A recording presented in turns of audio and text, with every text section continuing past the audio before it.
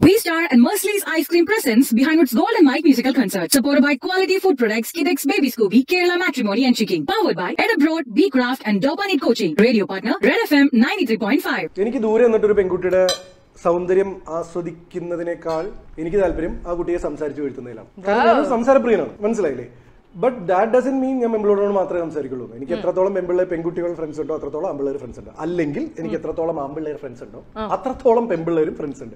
അതെനിക്ക് എന്നും-. രണ്ട് ഈക്വൽ ആണ്. അത് എന്റെ കോളേജിലൊന്നും പൊതുവെ അധികം ഞാൻ കണ്ട് ശീലിച്ചിട്ടില്ല. അതുകൊണ്ട് തന്നെ ആൺകുട്ടികൾ പലപ്പോഴും ഇത്തരം വിശേഷണങ്ങൾ തരാറുണ്ട്. പക്ഷെ. ഞാൻ അതിനെ കുറിച്ച് ബോധമല്ല കാരണം കോളേജ് പഠിക്കുന്ന കാലം തൊട്ടേ ഞാൻ വളരെ പോപ്പുലർ ആണ്. എന്ന് വെച്ച് കഴിഞ്ഞാൽ എനിക്ക് എന്റെ കോളേജ് ഫോട്ടോസ് എടുത്തു കഴിഞ്ഞാൽ തന്നെ അറിയാം.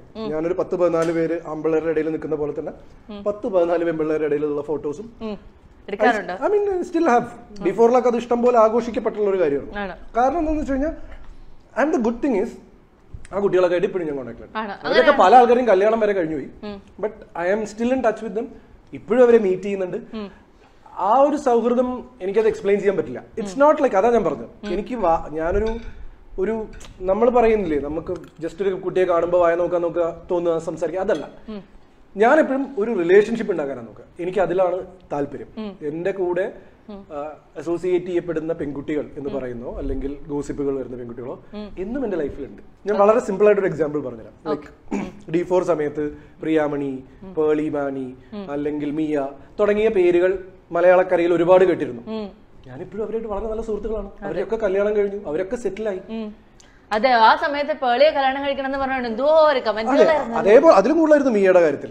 അതിലും കൂടുതൽ അതേപോലെ തന്നെ പ്രി- പ്രിയാമണിയായിട്ട് എന്തൊക്കെയോ വെറുതെ ഗൂഗിളിൽ നോക്കി കഴിഞ്ഞാൽ അറിയാം. Is the P Priyamani boy friend എന്നൊക്കെ പറഞ്ഞിട്ട് പണ്ട്. എനിക്കുള്ളൊരു ഈശ്വരാനുഗ്രഹം എന്ന് പറയുന്നത് അവർക്ക് ഇന്നും എന്റെ നല്ല സുഹൃത്തുക്കളാണ്. ഞാൻ ഇപ്പോഴും മീ ആയിട്ട് സംസാരിക്കാറുണ്ട് മീയുടെ വീട്ടിൽ പോകാറുണ്ട് മീയെ കാണാറുണ്ട്. ഞാൻ ഈ അടുത്ത് വ്ളോഗ് വരെ?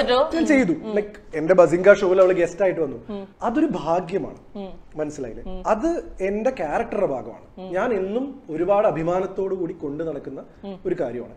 ഇപ്പൊ ഡീപ്പിയുടെ കാര്യം പറഞ്ഞപ്പോഴും ഇപ്പൊ താൻ ചോദിച്ചു എന്റെ അടുത്ത് ഇങ്ങനെ കുറെ കേട്ടപ്പോ പ്രണയിക്കായിരുന്നില്ലേ? അപ്പൊ ഞാനൊരു കുസൃതി രീതിയിൽ പറഞ്ഞു ആ പ്രണയ ആ പ്രണയത്തിലായിരുന്നു. പക്ഷെ ഇത് കേട്ടോടുകൂടി പോയത്.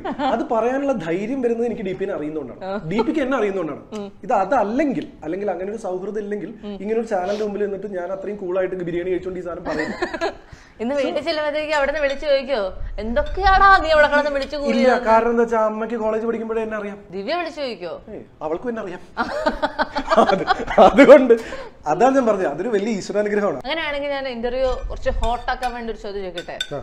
എനിക്ക് ഒരു ബിരിയാണി തളക്കുന്നതിന് മുമ്പേ ജിപിയുടെ ജിപ്പിയുടെ ഒരു ഒരു തേപ്പ് കഥ പറ ജിപ്പി തേപ്പ് കഥ അത് നമ്മൾ അങ്ങോട്ട് കൊടുത്ത കഥ മതി കേട്ടോ. ഇങ്ങോട്ട് വന്നത് വേണ്ട. അയ്യോ. അങ്ങനെ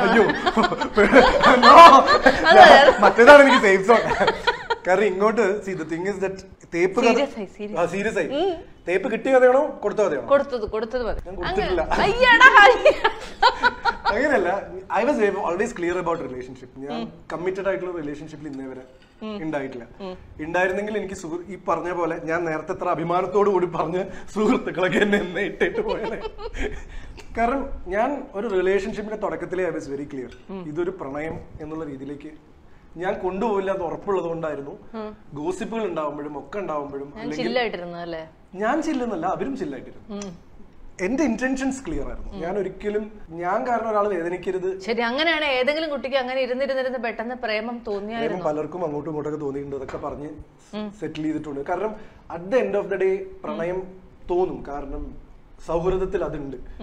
നമുക്ക് ഒരു കോപ്പി ബുക്ക് പോലെ ഈ ലൈൻ വരെ സൗഹൃദം ഈ ലൈൻ വരെ പ്രണയം എന്ന് പറയാൻ പറ്റില്ല. ദർ ഹാസ് ബീൻ ടൈംസ് പക്ഷെ ഞാൻ കോൺഷ്യസ് ആയിരുന്നു.